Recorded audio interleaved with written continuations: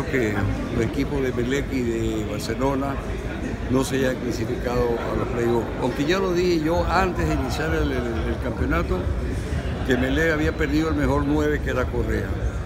Lo que digo se reafirma el día de hoy, porque mientras no se contraten buenos jugadores extranjeros, difícilmente el MLE podrá caminar más.